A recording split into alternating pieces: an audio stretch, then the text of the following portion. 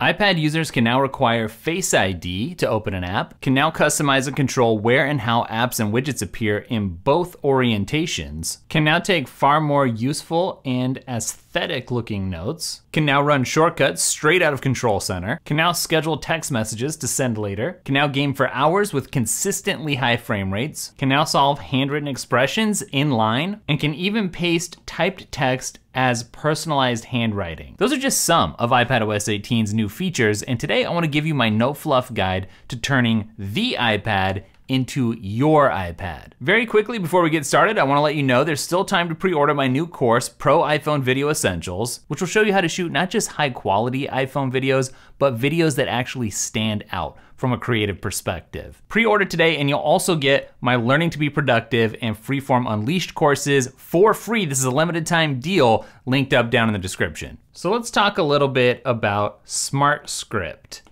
As you can see, Apple can now straighten out and smooth in handwritten script. Why should you care? Well, it comes down to one word, speed. Have you ever wanted to do more handwriting on your iPad, but you felt like it was kind of a deal breaker because you had to go slow enough that things remained legible? Well, SmartScript isn't just a cool feature. The benefit here is that you can write faster and let the iPad worry about keeping things neater.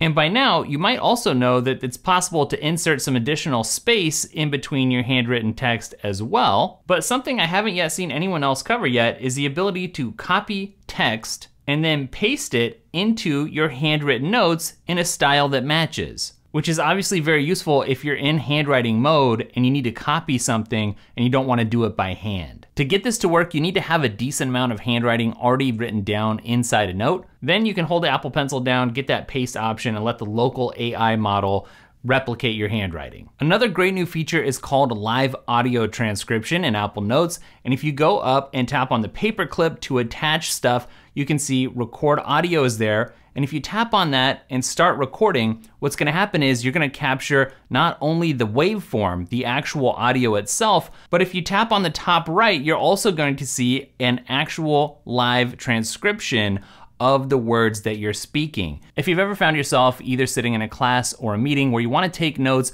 but you don't wanna have to do it manually, and you wanna be able to search through those notes later, then this is the perfect feature for you. And not only can you record that live audio and have it transcribed, you can also place it next to other notes elements, including things like your lists. Another great and much needed new addition to Apple Notes is the ability to highlight text in different colors to make it stand out. This is as easy as highlighting some text, going up to the formatting options, and then picking the color that you wanna use. Previously in Apple Notes, basically all the text looked very similar and it was hard to create a visual hierarchy. Well, being able to highlight text in different colors is gonna make it easier to prioritize information and make things stand out. And a good potential tip here might be to come up with a system for yourself that consistently uses colors for specific things like orange might be for highlights, pink for definitions, green for important concepts, etc. Another key addition to Apple Notes is collapsible headers. So you can see I've got an arrow here that lets me toggle whether or not a section is visible. So if you're somebody that often works with lengthy notes and you wanna be able to better concentrate on specific information, then being able to expand or collapse sections on demand will make your life a lot easier. Additionally, you can easily move big chunks of text around your document by collapsing a section, highlighting it, cutting it, and then pasting it elsewhere, just like this.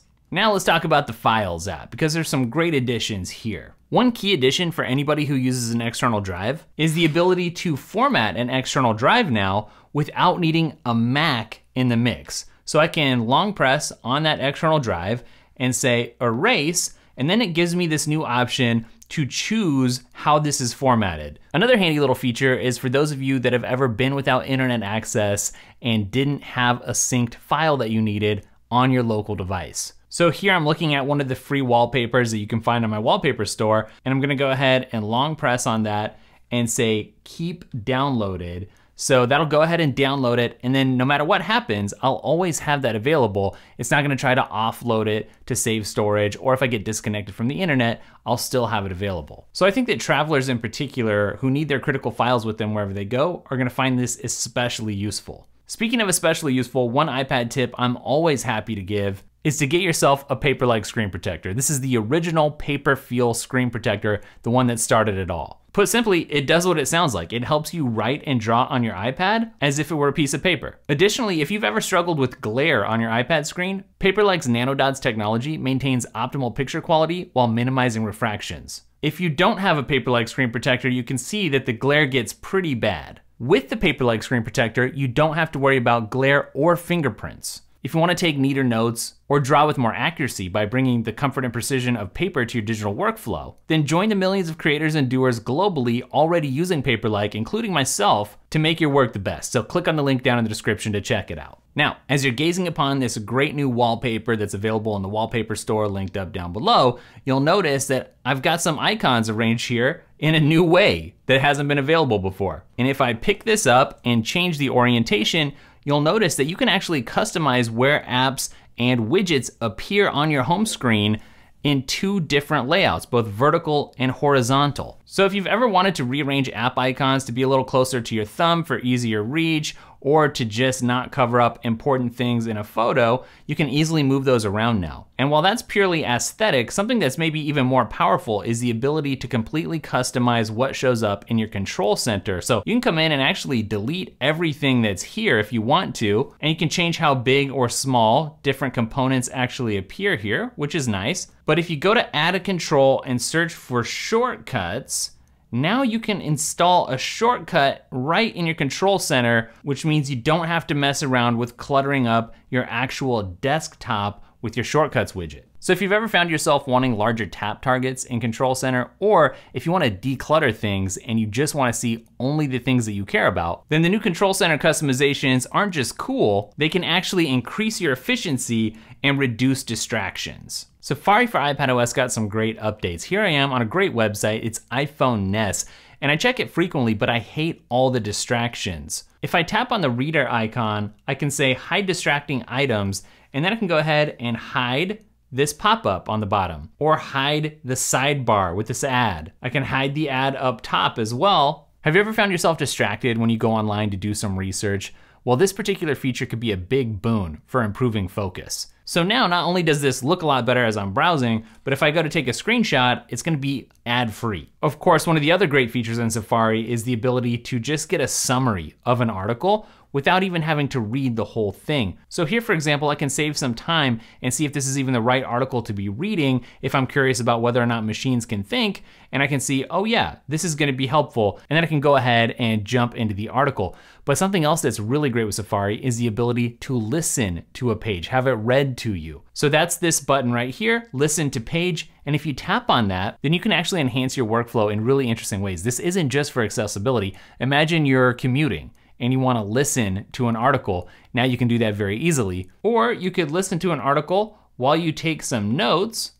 And something to note here is that you also get some controls over how things are played. So if you want to speed up or slow down the pace, you can easily do that. But I think as you put this into practice, you'll realize that sometimes it's nice to be able to absorb information without necessarily having to stare at the screen. For the first time ever, Apple's brought an official calculator app to the iPad. That's a big deal. And I mean, literally, it's a big deal because it's huge on your iPad screen, but that's okay. This button down on the left will let you switch between the different modes, your basic calculator, a scientific calculator, and a math notes version, which you saw me using a little bit earlier. Which, by the way, these math notes are gonna appear inside your actual Apple Notes app, just like you see here. So when it says math notes, it means math notes. In the past, have you ever been frustrated with your iPad when you needed a calculator and you had to reach for your phone or maybe your Apple Watch? Well, now the calculator's here on the iPad, but it doesn't just live in the calculator app. If I go to messages and I type in a currency conversion that I wanna do, I say $50 equals, and you can see it will convert that to euros in this case for me. I can change that around